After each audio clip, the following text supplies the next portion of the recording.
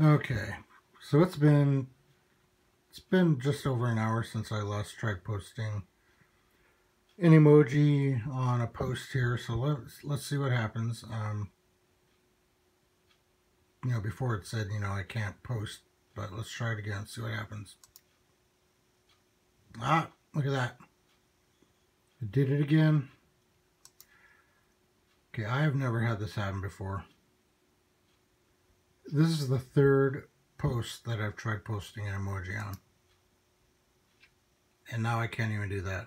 I can't even post comments right now. I don't know what is going on, but ever since I started my new Facebook channel, my Facebook account, I'm having problems responding to people's posts, posting emojis.